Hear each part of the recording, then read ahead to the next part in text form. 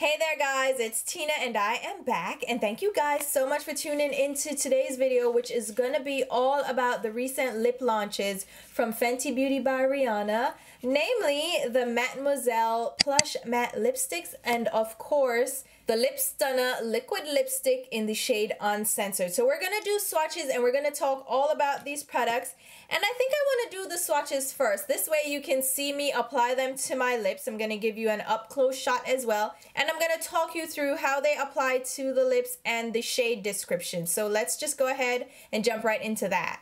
So of course we're starting off with the Mattemoiselle Plush Matte Lipsticks and I got quite a few shades to try out and test out this formula and we're going to start out with Single which is a blushing nude.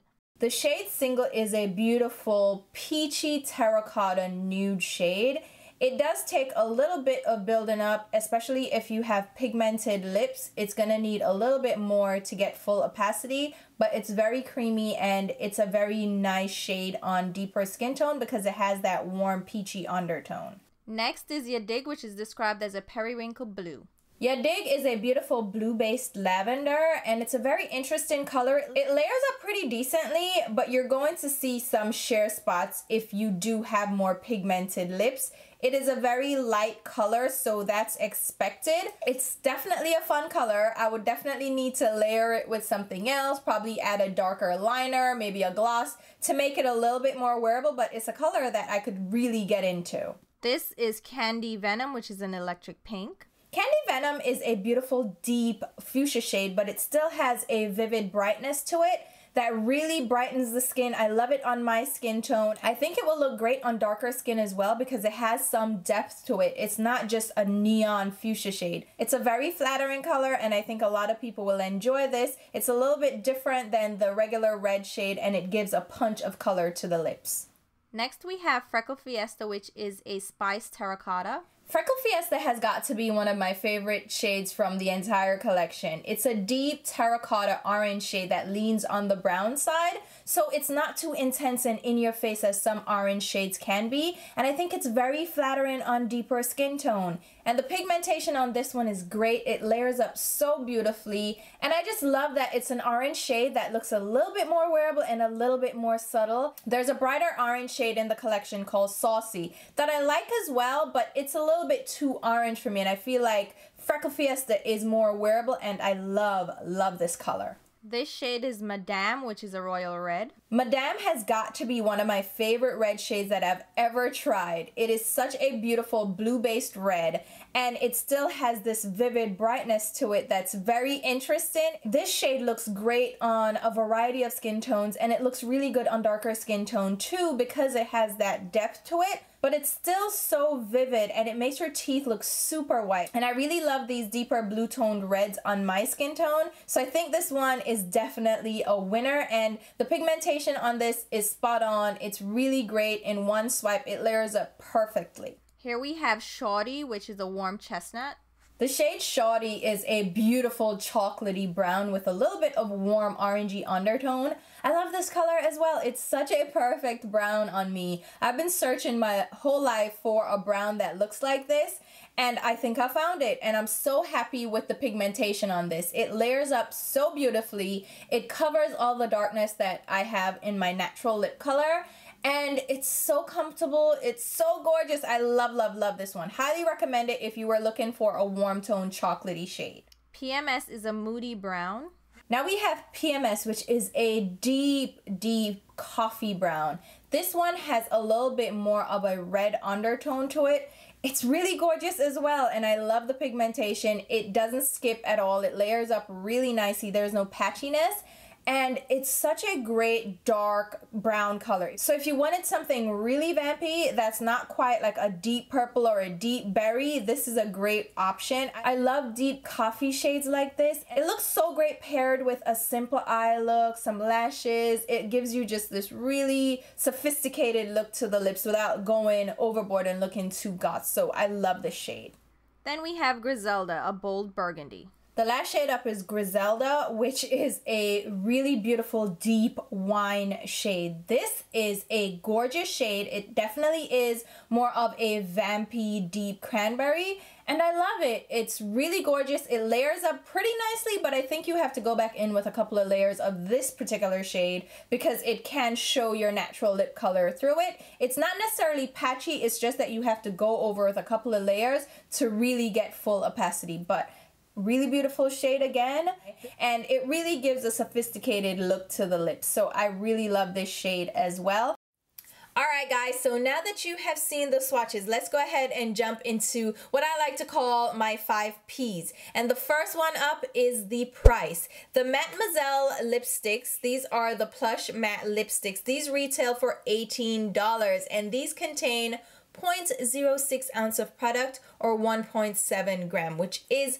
not a lot of product at all. Now this little tube can be deceiving. It looks like you get a decent amount of product and if you grab just a regular lipstick, I'll use MAC for reference, it looks like the same amount of product. But this is a slimline lipstick, so you're actually getting 40% less product in this than you do in a MAC lipstick. This contains 3 grams of product or 0.1 ounce, which is 40% more than the Rihanna lipsticks. And the MAC lipsticks now retail for $17.50. So these are even more expensive for 40% less product. I wanted to make sure that I mentioned the size of these lipsticks because for me, it's a sticking point. These are $18, which doesn't sound like a lot because it's much cheaper than a lot of the lipsticks we see out there on the market. We have lipsticks that are priced in the high $20 range, $30 range. We have Pat McGrath lipsticks that are $38 a pop.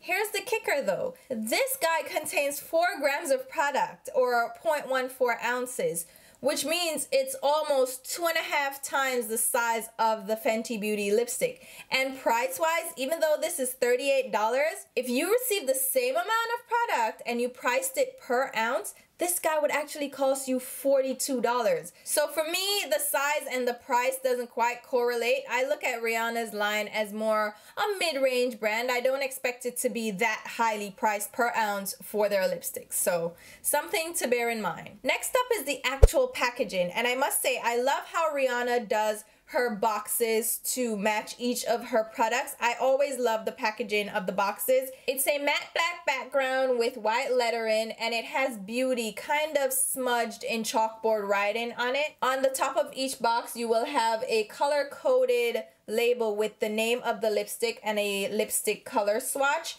and then the actual lipstick tubes. Here's the other thing that was a stickler for me. The tubes are lightweight plastic with a metallic rose gold finish. Now, these are very lightweight. They feel kind of like throwaway packaging. They do not feel luxurious at all, which I was kind of expecting with the price point and with Rihanna being who she is. I expected them to be a little bit more heavy duty, a little bit more luxurious, but they aren't. Fenty Beauty is printed on the side and she has the typical hexagon shape. On the bottom, you have a very tiny label with the product name and it's color coded as well, which I thought was a good touch. I always like when lipsticks have the color of the lipstick on the label. So if I store them upright, I can tell which color I'm grabbing without having to open the tube. I like that. Now these are just snap fit caps so it just pulls off. There's no magnet that holds them together and it's a very beautiful again that millennial pink nude shade that she's used across all her packaging. And again, it's just a very cheap feeling packaging. It doesn't look cheap, but it feels cheap. I think the packaging is definitely cute. It's streamlined, it's simple, but I feel like it needed a little bit more weight to it, something to amp it up a bit for it to be worth the price that you pay for it. Now, as far as purchasing goes, you can find the Mattemoiselle Plush Matte Lipsticks online on Sephora.com. You can also find it on the Rihanna Fenty Beauty site. You can also find this at Harvey Nichols in Ireland and the United Kingdom, and they're of course available worldwide in different Sephora locations. The great thing about Rihanna's products is they launch online and store simultaneously. So you don't have to wait after an online launch for these to show up in store. You can go shop for them same day, which I appreciate with that.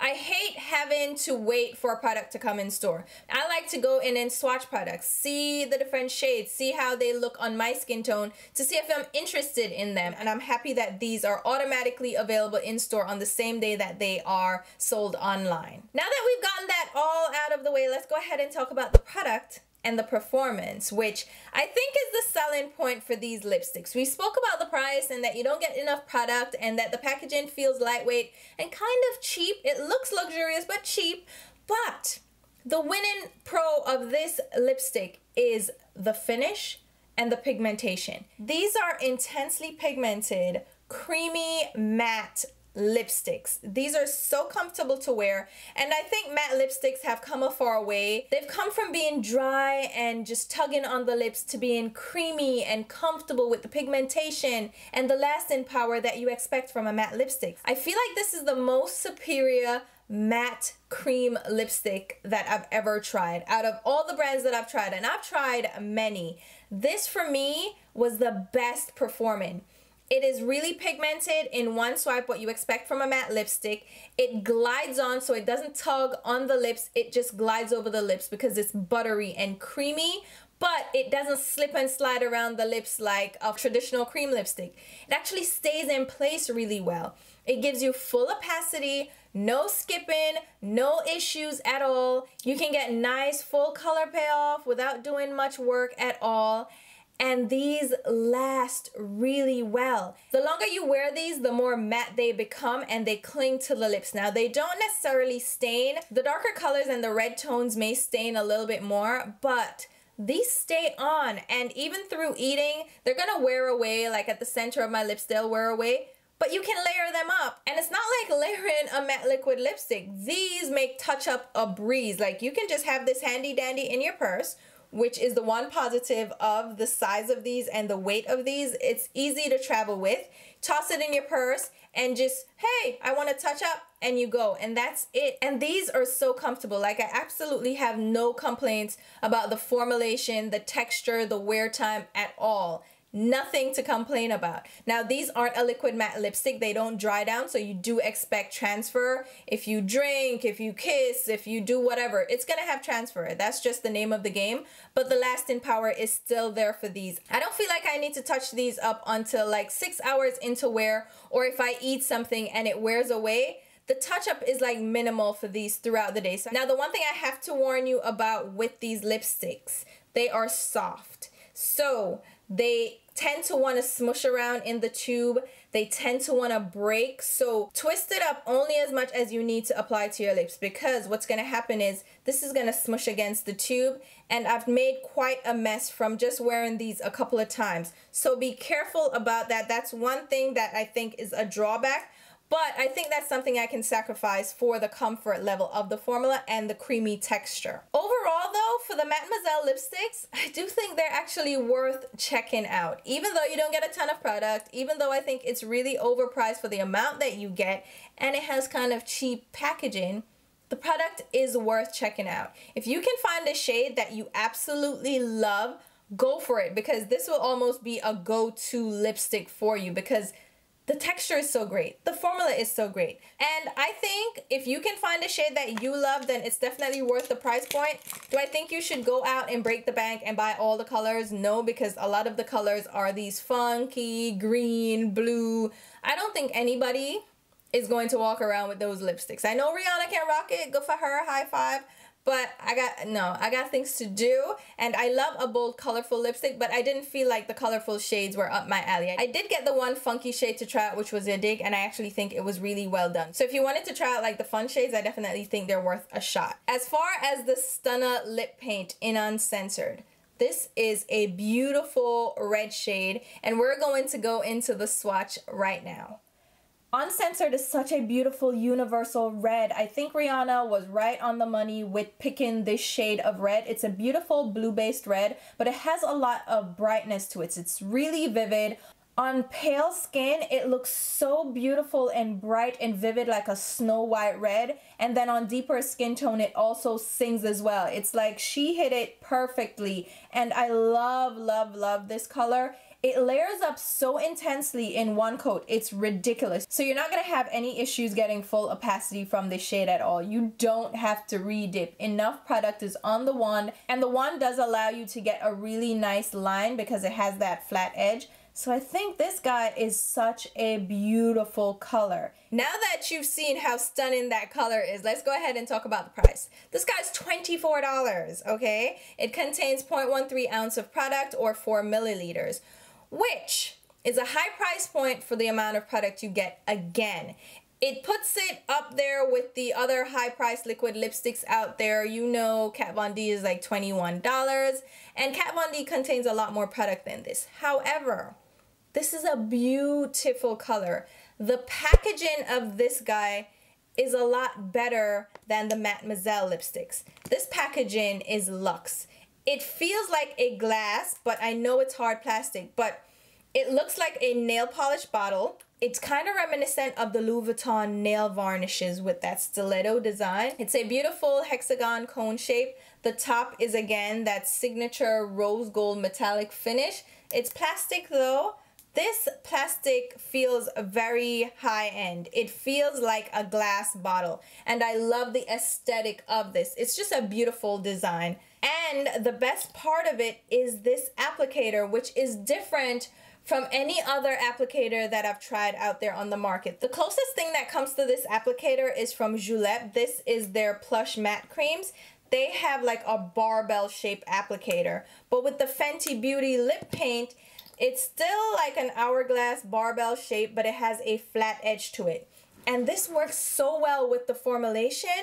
It's just, oh my God, they got this so right. Whoever designed this, whoever went through the development of this product, you are spot on. This is excellent. This liquid lipstick formula is superb. Again, I feel like Rihanna hit it out the park with this. Now, be careful because it is a very liquidy formula. It is very thin, it's very lightweight, and it applies like ink. That's exactly how I would describe it. This is like an ink pot. You know those fancy ink wells with the little felt pen? This is what this reminds me of. You wipe off as much as you can and then you go in and the flat edge allows you to line your lips beautifully and the formula allows you to get a nice crisp line it doesn't really flow over the lips, which I thought was interesting given how thin it is. And you don't need a lot. It is so opaque. A simple swipe will cover, like I could keep going. This covers so much area just from that little dip in the pot. And it keeps going. It doesn't thin out at all. There are no sheer spots. There are no patches.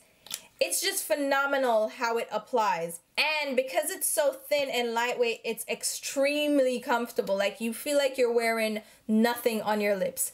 But be mindful of that because it can fool you. You feel like you're wearing nothing, you're like, oh, what's going on? Hey, you're walking around, and then you have red lipstick all over your face because it's not budge proof, it's not smudge proof. It will transfer if you touch your lips and I've run into issues where you know you barely move past your mouth and you touch it and I have red all over my hand, I'll have red on my nose, I'll have red on my chin. So just be careful with that. I think it's a little painstaking to have to monitor my lipstick. It was a little annoying. I wore this during the holidays and it annoyed me a little bit because I had to keep checking my lipstick. But the color is so vivid and so bold and bright as a red lipstick and it's so flattering that I kind of didn't mind because I was like, oh my god, this color is so flattering. So you kind of win some and lose some with this formulation.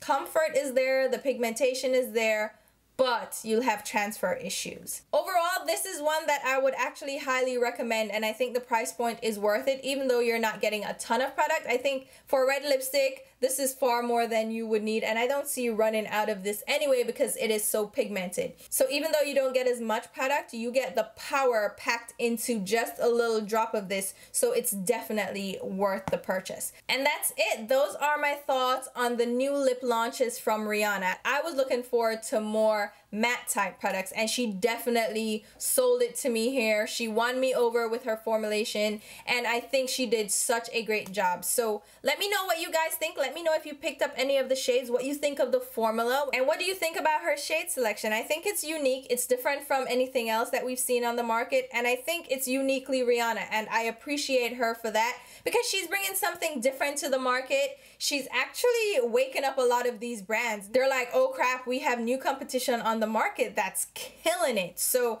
hopefully there's gonna be some improvements across the board from all these different brands now that they see a brand come out new brand and it is really taken off. So hopefully you guys enjoyed this video. As usual i'll leave links on where you can pick these up. And yeah i will also leave links to my instagram and twitter page where you can follow me along.